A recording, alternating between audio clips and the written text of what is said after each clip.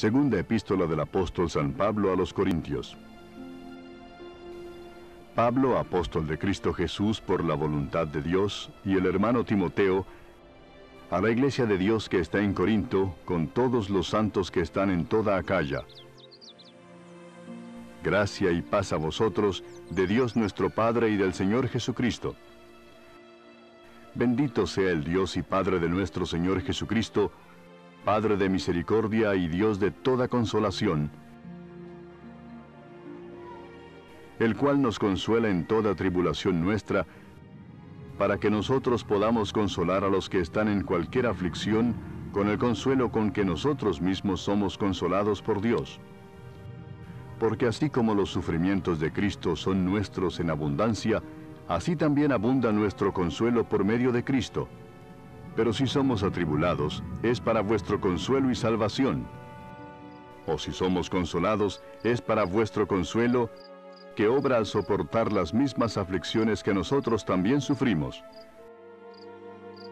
Y nuestra esperanza respecto de vosotros está firmemente establecida, sabiendo que como sois copartícipes de los sufrimientos, así también lo sois de la consolación. Porque no queremos que ignoréis, hermanos, acerca de nuestra aflicción sufrida en Asia, porque fuimos abrumados sobremanera más allá de nuestras fuerzas, de modo que hasta perdimos la esperanza de salir con vida.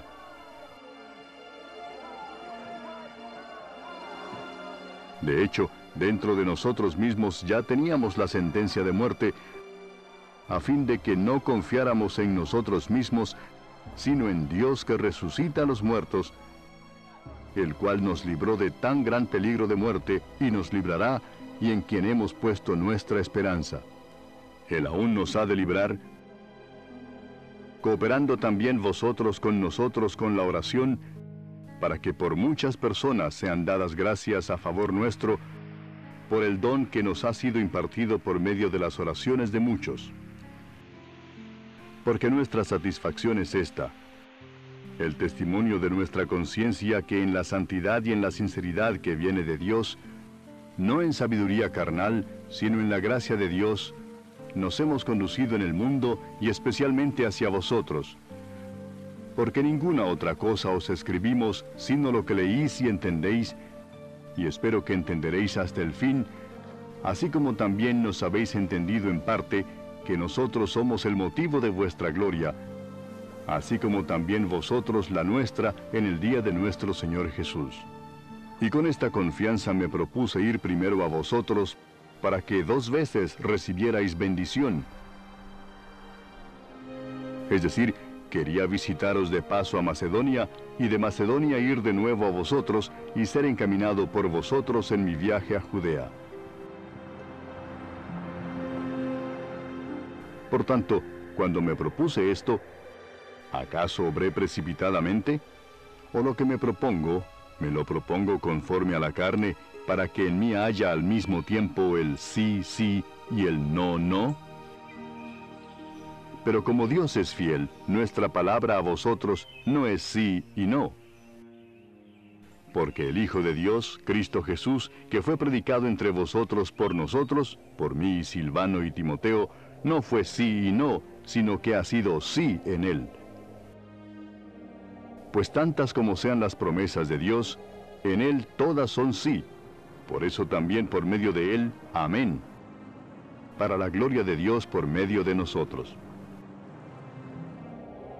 Ahora bien, el que nos confirma con vosotros en Cristo y el que nos ungió es Dios, quien también nos selló y nos dio el Espíritu en nuestro corazón como garantía.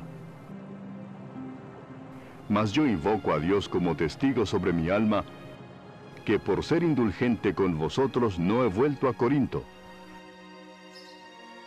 No es que nos enseñoreemos de vuestra fe, sino que somos colaboradores con vosotros para vuestro gozo, porque en la fe permanecéis firmes.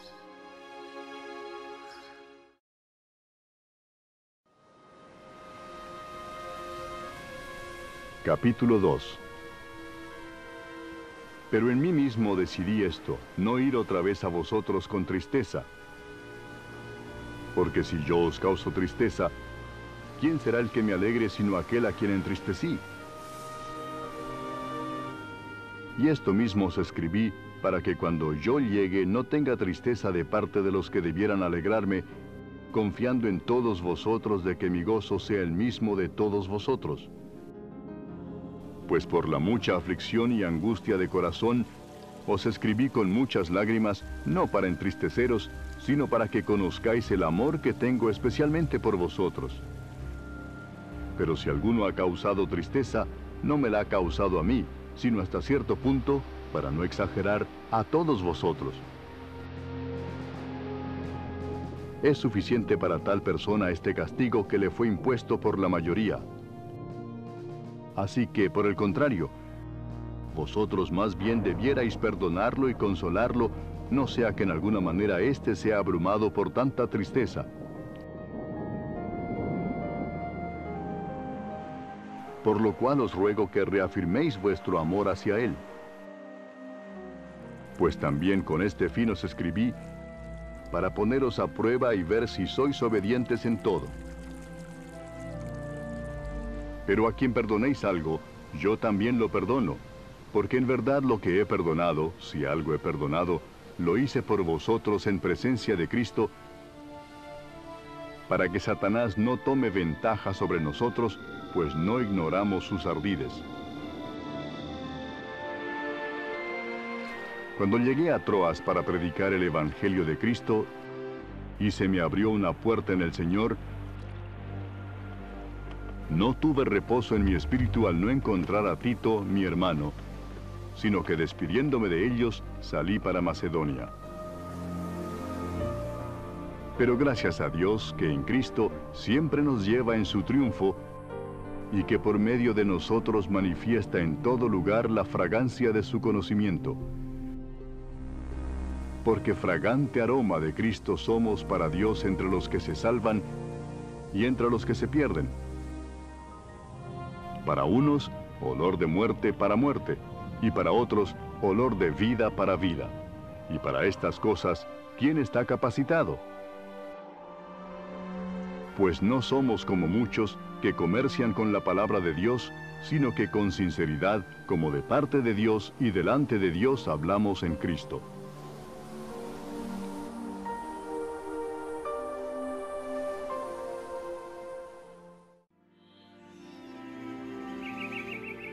Capítulo 3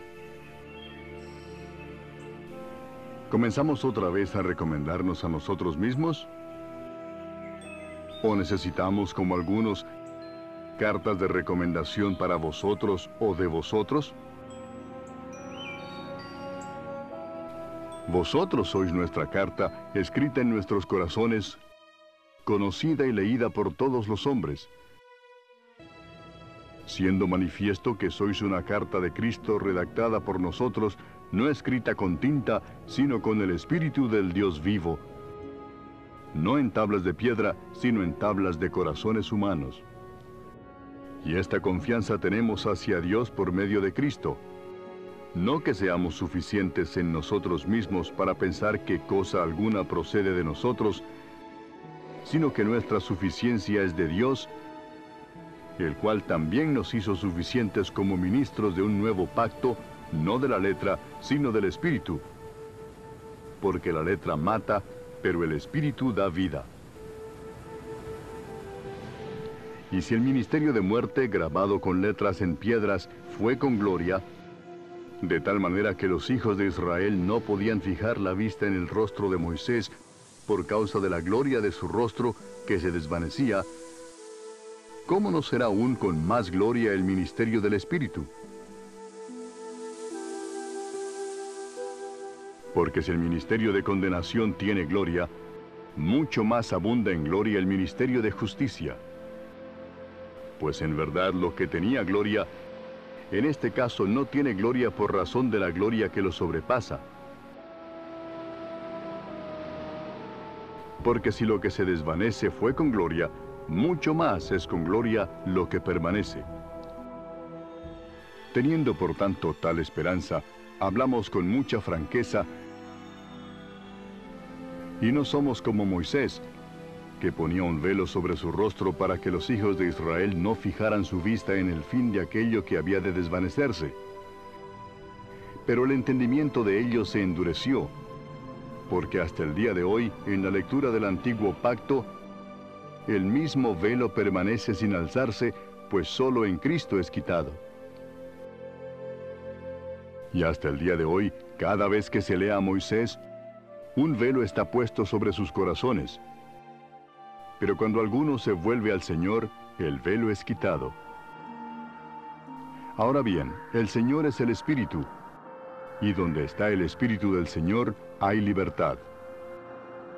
Pero nosotros todos, con el rostro descubierto, contemplando como en un espejo la gloria del Señor, estamos siendo transformados en la misma imagen de gloria en gloria como por el Señor el Espíritu.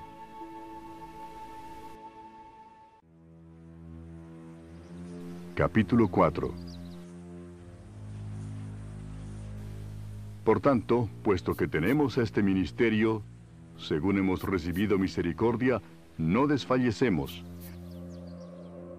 sino que hemos renunciado a lo oculto y vergonzoso, no andando con astucia ni adulterando la palabra de Dios, sino que mediante la manifestación de la verdad nos recomendamos a la conciencia de todo hombre en la presencia de Dios. Y si todavía nuestro Evangelio está velado, para los que se pierden está velado, en los cuales el Dios de este mundo ha cegado el entendimiento de los incrédulos, para que no vean el resplandor del Evangelio de la gloria de Cristo, que es la imagen de Dios. Porque no nos predicamos a nosotros mismos, sino a Cristo Jesús como Señor, y a nosotros como siervos vuestros por amor de Jesús. Pues Dios, que dijo que de las tinieblas resplandecerá la luz, es el que ha resplandecido en nuestros corazones para iluminación del conocimiento de la gloria de Dios en la faz de Cristo. Pero tenemos este tesoro en vasos de barro, para que la extraordinaria grandeza del poder sea de Dios y no de nosotros. Afligidos en todo, pero no agobiados, perplejos, pero no desesperados perseguidos, pero no abandonados, derribados, pero no destruidos. Llevando siempre en el cuerpo por todas partes la muerte de Jesús, para que también la vida de Jesús se manifieste en nuestro cuerpo. Porque nosotros que vivimos, constantemente estamos siendo entregados a muerte por causa de Jesús, para que también la vida de Jesús se manifieste en nuestro cuerpo mortal. Así que en nosotros obra la muerte, pero en vosotros la vida. Pero teniendo el mismo espíritu de fe, según lo que está escrito, creí, por tanto hablé, nosotros también creemos, por lo cual también hablamos, sabiendo que aquel que resucitó al Señor Jesús, a nosotros también nos resucitará con Jesús y nos presentará juntamente con vosotros. Porque todo esto es por amor a vosotros, para que la gracia que se está extendiendo por medio de muchos haga que las acciones de gracias abunden para la gloria de Dios.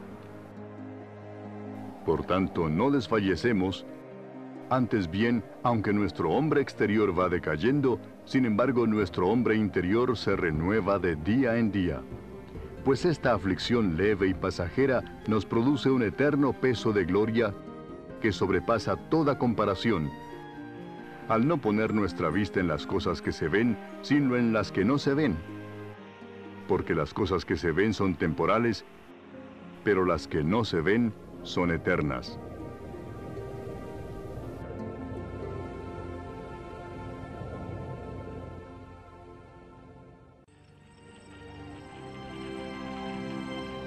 Capítulo 5 Porque sabemos que si la tienda terrenal que es nuestra morada es destruida, tenemos de Dios un edificio, una casa no hecha por manos, eterna en los cielos. Pues en verdad, en esta morada gemimos, anhelando ser vestidos con nuestra habitación celestial. Y una vez vestidos, no seremos hallados desnudos.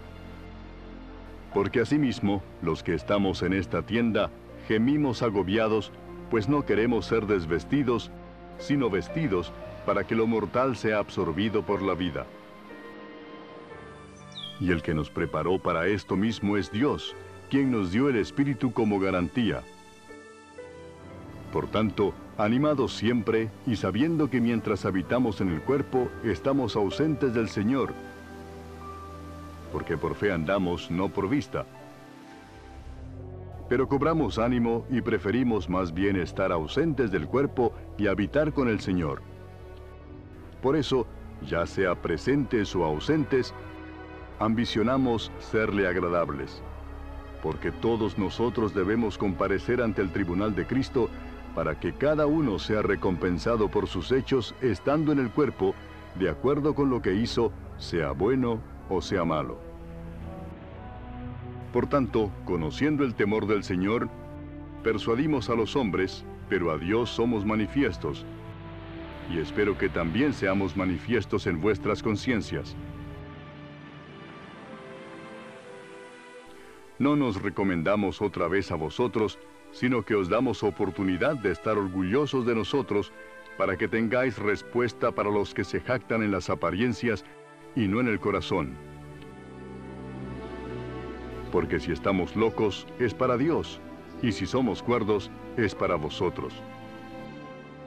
Pues el amor de Cristo nos apremia habiendo llegado a esta conclusión, que uno murió por todos, por consiguiente, todos murieron. Y por todos murió, para que los que viven ya no vivan para sí, sino para aquel que murió y resucitó por ellos. De manera que nosotros de ahora en adelante ya no conocemos a nadie según la carne. Aunque hemos conocido a Cristo según la carne, sin embargo, ahora ya no le conocemos así.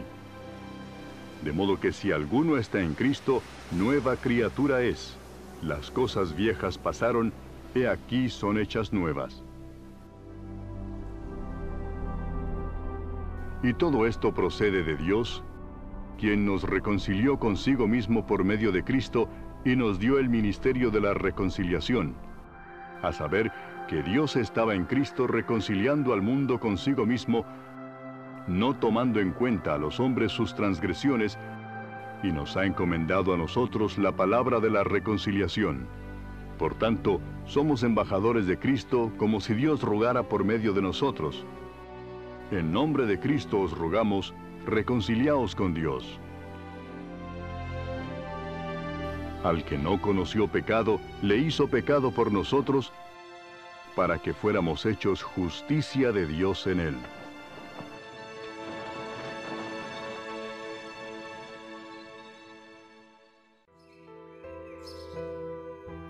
Capítulo 6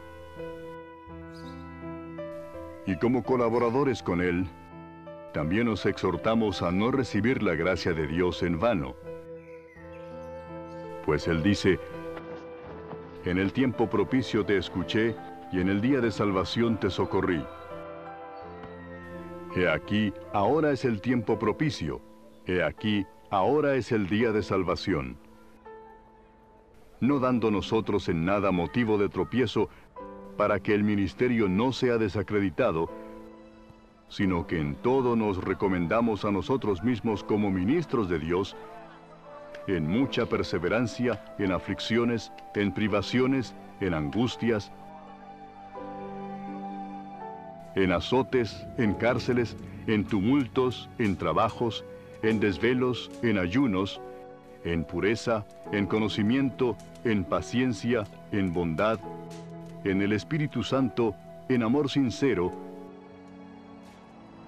en la palabra de verdad, en el poder de Dios por armas de justicia para la derecha y para la izquierda,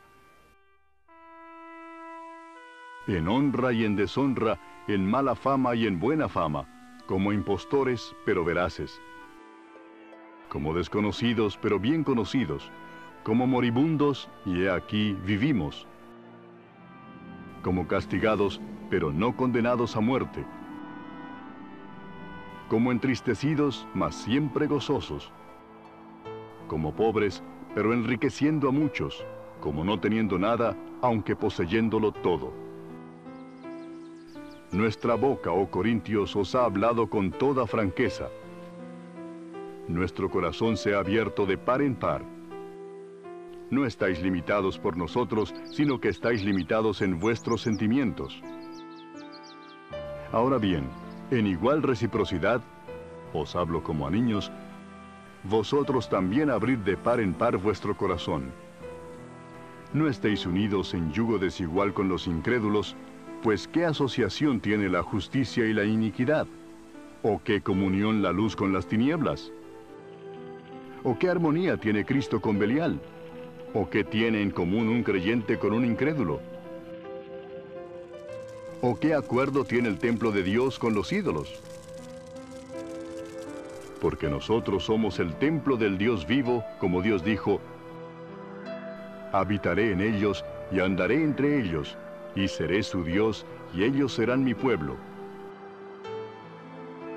Por tanto, salid de en medio de ellos y apartaos, dice el Señor. Y no toquéis lo inmundo, y yo os recibiré y yo seré para vosotros Padre, y vosotros seréis para mí hijos e hijas, dice el Señor Todopoderoso.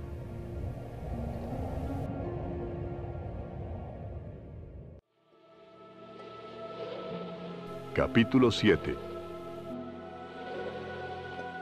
Por tanto, amados, teniendo estas promesas, limpiémonos de toda inmundicia de la carne y del espíritu, perfeccionando la santidad en el temor de Dios aceptadnos en vuestro corazón. A nadie hemos ofendido, a nadie hemos corrompido, de nadie hemos tomado ventaja. No hablo para condenaros, porque he dicho antes que estáis en nuestro corazón para morir juntos y para vivir juntos.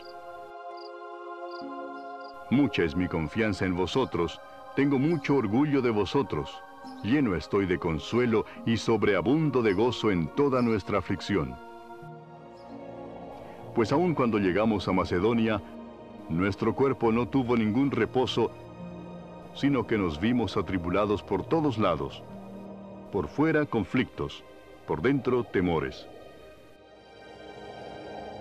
Pero Dios, que consuela a los deprimidos, nos consoló con la llegada de Tito. Y no solo con su llegada, sino también con el consuelo con que Él fue consolado en vosotros, haciéndonos saber vuestro gran afecto, vuestro llanto y vuestro celo por mí, de manera que me regocijé aún más. Porque si bien os causé tristeza con mi carta, no me pesa. Aun cuando me pesó, pues veo que esa carta os causó tristeza, aunque solo por poco tiempo. Pero ahora me regocijo, no de que fuisteis entristecidos, sino de que fuisteis entristecidos para arrepentimiento, porque fuisteis entristecidos conforme a la voluntad de Dios, para que no sufrierais pérdida alguna de parte nuestra. Porque la tristeza que es conforme a la voluntad de Dios, produce un arrepentimiento que conduce a la salvación sin dejar pesar, pero la tristeza del mundo produce muerte. Porque mirad, qué solicitud ha producido en vosotros esto. Esta tristeza piadosa, qué vindicación de vosotros mismos. Qué indignación, qué temor, qué gran afecto, qué celo, qué castigo del mal. En todo habéis demostrado ser inocentes en el asunto. Así que, aunque os escribí, no fue por causa del que ofendió, ni por causa del ofendido, sino para que vuestra solicitud por nosotros se manifestara a vosotros delante de Dios. Por esta razón hemos sido consolados. Y aparte de nuestro consuelo, mucho más nos regocijamos por el gozo de Tito, pues su espíritu ha sido confortado por todos vosotros. Porque si en algo me he jactado con él acerca de vosotros, no fui avergonzado, sino que así como os hemos dicho todo con verdad, así también nuestra jactancia ante Tito resultó ser la verdad. Y su amor hacia vosotros abunda aún más al acordarse de la obediencia de todos vosotros y de cómo lo recibisteis con temor y temblor. Me gozo de que en todo tengo confianza en vosotros.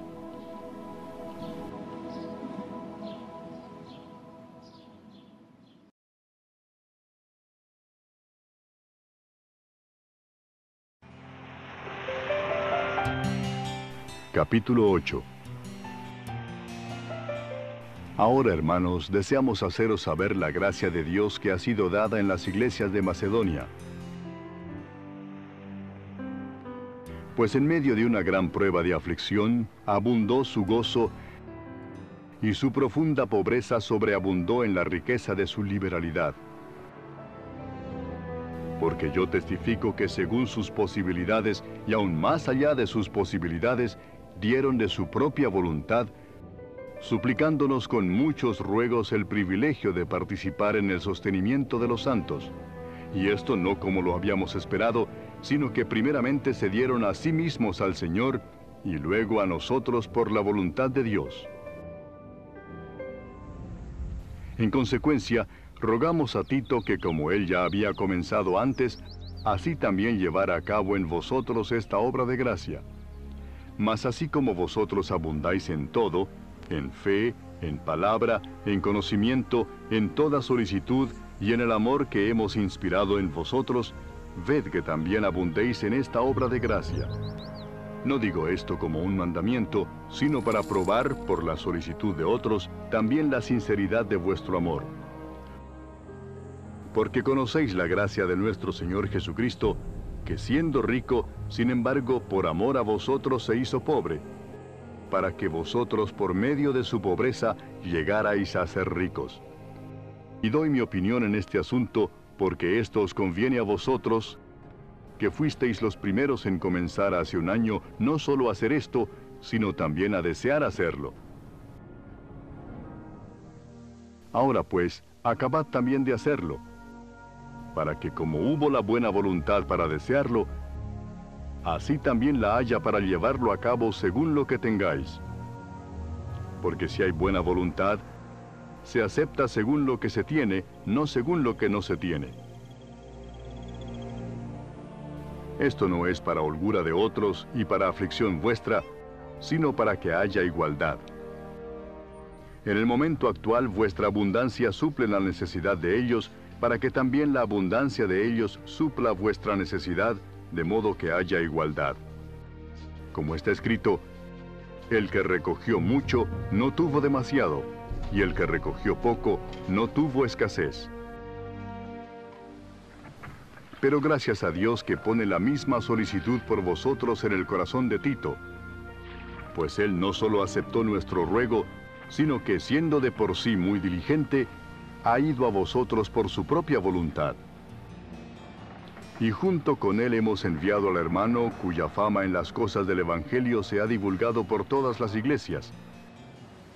Y no solo esto, sino que también ha sido designado por las iglesias como nuestro compañero de viaje en esta obra de gracia, la cual es administrada por nosotros para la gloria del Señor mismo y para manifestar nuestra buena voluntad teniendo cuidado de que nadie nos desacredite en esta generosa ofrenda administrada por nosotros, pues nos preocupamos por lo que es honrado, no solo ante los ojos del Señor, sino también ante los ojos de los hombres.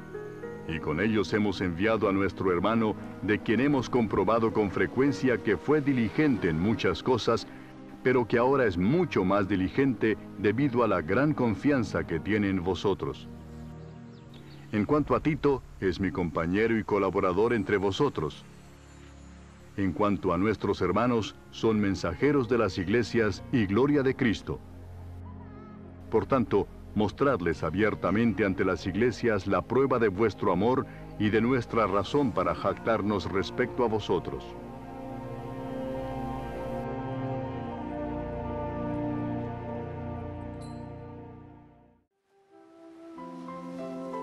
Capítulo 9 porque me es por demás escribiros acerca de este servicio a los santos, pues conozco vuestra buena disposición, de la que me glorío por vosotros ante los macedonios, es decir, que acá ya ha estado preparada desde el año pasado, y vuestro celo ha estimulado a la mayoría de ellos. Pero he enviado a los hermanos para que nuestra jactancia acerca de vosotros no sea hecha vana en este caso, a fin de que, como decía, estéis preparados.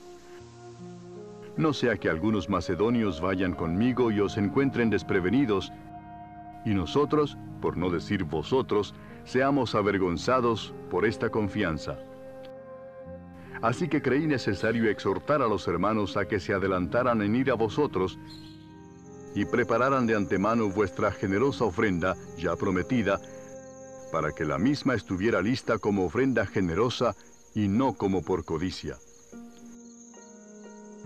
Pero esto digo, el que siembra escasamente, escasamente también segará, y el que siembra abundantemente, abundantemente también segará.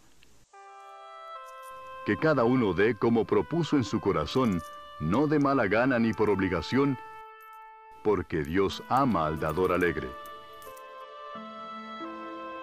Y Dios puede hacer que toda gracia abunde para vosotros, a fin de que teniendo siempre todo lo suficiente en todas las cosas, abundéis para toda buena obra. Como está escrito, Él esparció, dio a los pobres, su justicia permanece para siempre. Y el que suministra semilla al sembrador y pan para su alimento, suplirá y multiplicará vuestra sementera y aumentará la siega de vuestra justicia. Seréis enriquecidos en todo para toda liberalidad, la cual por medio de nosotros produce acción de gracias a Dios. Porque la administración de este servicio no solo suple con plenitud lo que falta a los santos, sino que también sobreabunda a través de muchas acciones de gracias a Dios. Por la prueba dada por esta ministración, glorificarán a Dios por vuestra obediencia a vuestra confesión del Evangelio de Cristo y por la liberalidad de vuestra contribución para ellos y para todos, mientras que también ellos, mediante la oración a vuestro favor, demuestran su anhelo por vosotros debido a la sobreabundante gracia de Dios en vosotros. Gracias a Dios por su don inefable.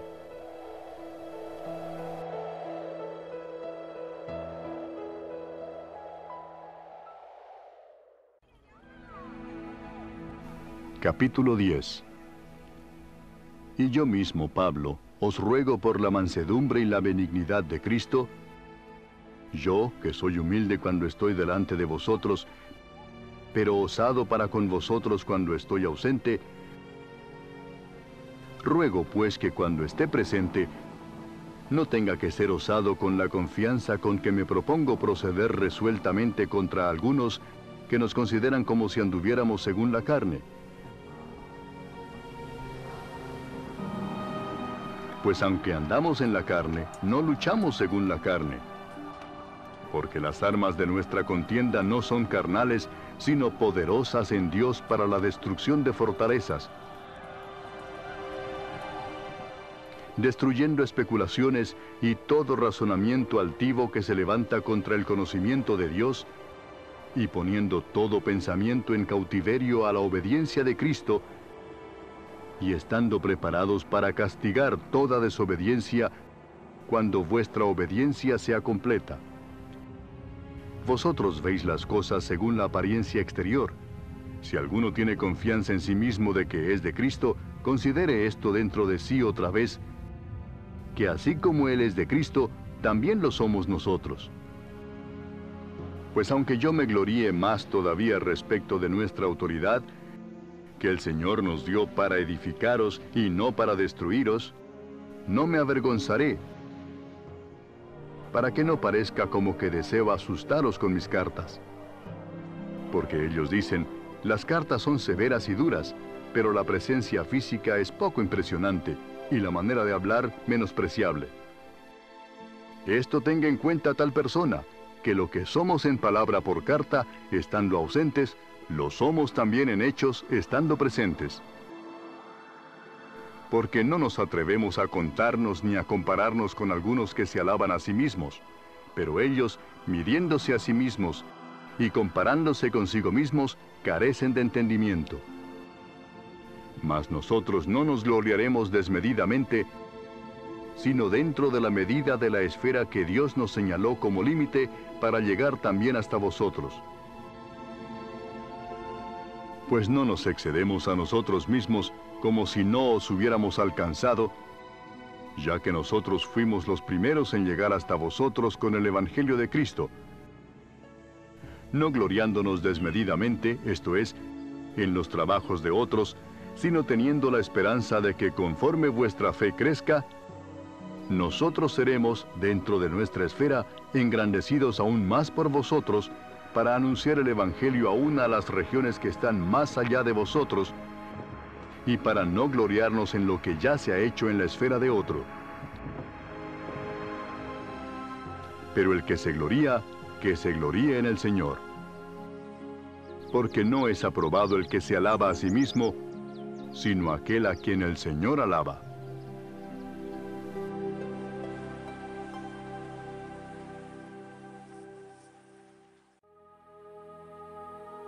Capítulo 11 Ojalá que me soportarais un poco de insensatez, y en verdad me soportáis. Porque celoso estoy de vosotros con celo de Dios, pues os desposé a un esposo para presentaros como virgen pura a Cristo. Pero temo que así como la serpiente con su astucia engañó a Eva, vuestras mentes sean desviadas de la sencillez y pureza de la devoción a Cristo. Porque si alguien viene y predica a otro Jesús, a quien no hemos predicado, o recibís un espíritu diferente que no habéis recibido, o aceptáis un evangelio distinto que no habéis aceptado, bien lo toleráis. Pues yo no me considero inferior en nada a los más eminentes apóstoles. Pero aunque yo sea torpe en el hablar, no lo soy en el conocimiento. De hecho, por todos los medios os lo hemos demostrado en todas las cosas. ¿O cometí un pecado al humillarme a mí mismo para que vosotros fuerais exaltados porque os prediqué el Evangelio de Dios gratuitamente? A otras iglesias despojé, tomando salario de ellas para serviros a vosotros. Y cuando estaba con vosotros y tuve necesidad, a nadie fui carga, porque cuando los hermanos llegaron de Macedonia, suplieron plenamente mi necesidad, y en todo me guardé y me guardaré de seros carga. Como la verdad de Cristo está en mí, este gloriarme no se me impedirá en las regiones de Acaya. ¿Por qué? ¿Porque no os amo? Dios lo sabe. Pero lo que hago continuaré haciéndolo a fin de privar de oportunidad a aquellos que desean una oportunidad de ser considerados iguales a nosotros en aquello en que se glorían. Porque los tales son falsos apóstoles, obreros fraudulentos que se disfrazan como apóstoles de Cristo. Y no es de extrañar, pues aún Satanás se disfraza como ángel de luz. Por tanto, no es de sorprender que sus servidores también se disfracen como servidores de justicia, cuyo fin será conforme a sus obras. Otra vez digo, nadie me tenga por insensato, pero si vosotros lo hacéis, recibidme aunque sea como insensato, para que yo también me gloríe un poco. Lo que digo, no lo digo como lo diría el Señor, sino como en insensatez, en esta confianza de gloriarme pues ya que muchos se glorían según la carne, yo también me gloriaré. Porque vosotros, siendo tan sabios, con gusto toleráis a los insensatos. Pues toleráis si alguno os esclaviza, si alguno os devora, si alguno se aprovecha de vosotros, si alguno se exalta a sí mismo, si alguno os golpea en el rostro. Para vergüenza mía digo que en comparación nosotros hemos sido débiles pero en cualquier otra cosa que alguien más sea osado, hablo con insensatez, yo soy igualmente osado. ¿Son ellos hebreos? Yo también. ¿Son israelitas? Yo también. ¿Son descendientes de Abraham? Yo también. ¿Son servidores de Cristo? Hablo como si hubiera perdido el juicio. Yo más. En muchos más trabajos, en muchas más cárceles, en azotes un sinnúmero de veces, a menudo en peligros de muerte. Cinco veces he recibido de los judíos 39 azotes. Tres veces he sido golpeado con varas, una vez fui apedreado, tres veces naufragué y he pasado una noche y un día en lo profundo. Con frecuencia en viajes, en peligros de ríos, peligros de salteadores, peligros de mis compatriotas, peligros de los gentiles, peligros en la ciudad, peligros en el desierto, peligros en el mar, peligros entre falsos hermanos. En trabajos y fatigas, en muchas noches de desvelo, en hambre y sed, a menudo sin comida, en frío y desnudez. Además de tales cosas externas, está sobre mí la presión cotidiana de la preocupación por todas las iglesias. ¿Quién es débil sin que yo sea débil? ¿A quién se le hace pecar sin que yo no me preocupe intensamente? Si tengo que gloriarme, me gloriaré en cuanto a mi debilidad. El Dios y Padre del Señor Jesús, el cual es bendito para siempre, sabe que no miento. En Damasco, el gobernador bajo el rey Aretas vigilaba la ciudad de los damasenos con el fin de prenderme, pero me bajaron en un cesto por una ventana en la muralla y así escapé de sus manos.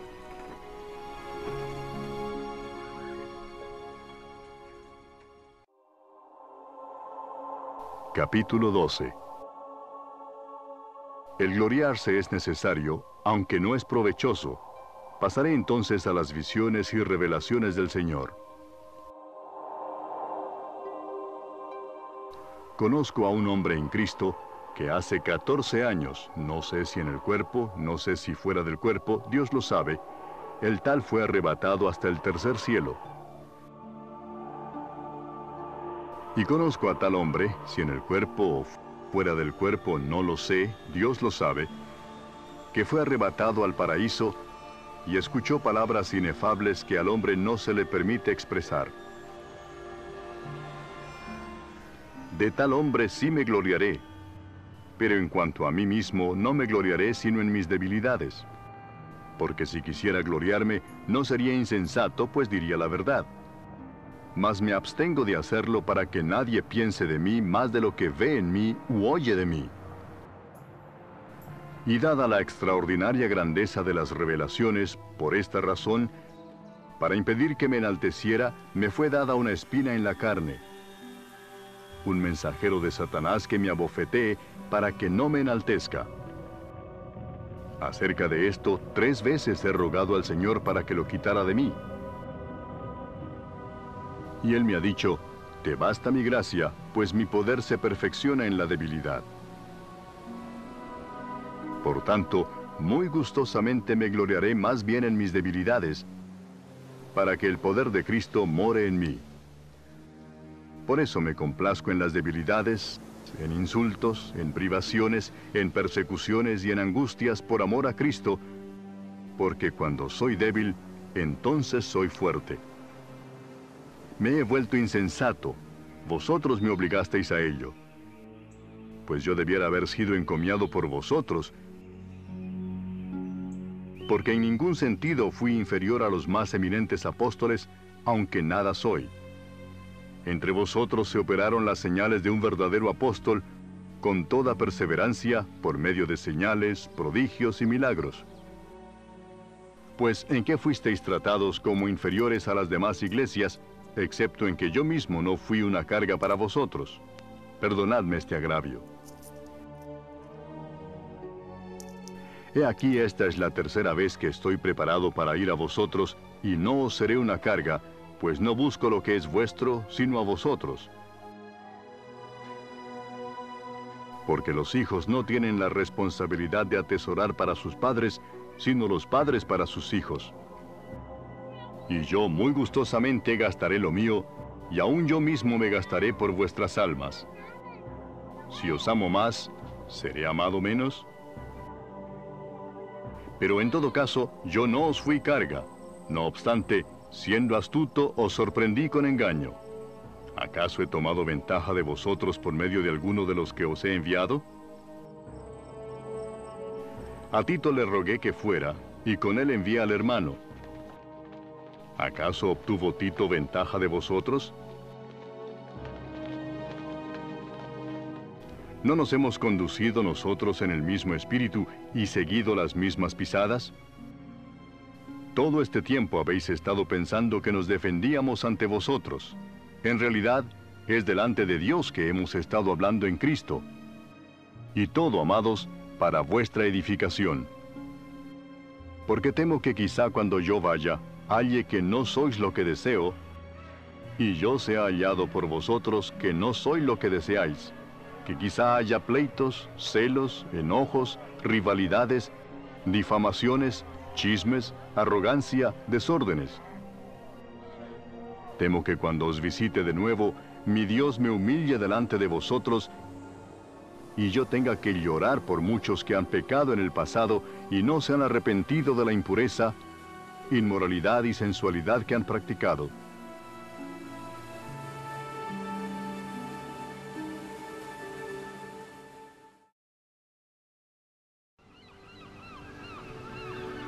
Capítulo 13 Esta es la tercera vez que voy a vosotros. Por el testimonio de dos o tres testigos se juzgarán todos los asuntos. Dije previamente, cuando estuve presente la segunda vez, y aunque ahora estoy ausente, lo digo de antemano a los que pecaron anteriormente y también a todos los demás, que si voy otra vez, no seré indulgente, puesto que buscáis una prueba del Cristo que habla en mí, el cual no es débil para con vosotros, sino poderoso en vosotros. Porque ciertamente Él fue crucificado por debilidad, pero vive por el poder de Dios. Así también nosotros somos débiles en Él. Sin embargo, viviremos con Él por el poder de Dios para con vosotros. Poneos a prueba para ver si estáis en la fe. Examinaos a vosotros mismos. ¿O no os reconocéis a vosotros mismos que Jesucristo está en vosotros, a menos de que en verdad no paséis la prueba? Mas espero que reconoceréis que nosotros no estamos reprobados. Y rogamos a Dios que no hagáis nada malo, no para que nosotros aparezcamos aprobados, sino para que vosotros hagáis lo bueno, aunque nosotros aparezcamos reprobados. Porque nada podemos hacer contra la verdad, sino solo a favor de la verdad. Pues nos regocijamos cuando nosotros somos débiles, pero vosotros sois fuertes. También oramos por esto, para que vosotros seáis hechos perfectos. Por esta razón os escribo estas cosas estando ausente, a fin de que cuando esté presente no tenga que usar de severidad según la autoridad que el Señor me dio para edificar y no para destruir. Por lo demás, hermanos, regocijaos, sed perfectos, confortaos, sed de un mismo sentir, vivid en paz, y el Dios de amor y paz será con vosotros. Saludaos los unos a los otros con beso santo. Todos los santos os saludan. La gracia del Señor Jesucristo, el amor de Dios y la comunión del Espíritu Santo sean con todos vosotros.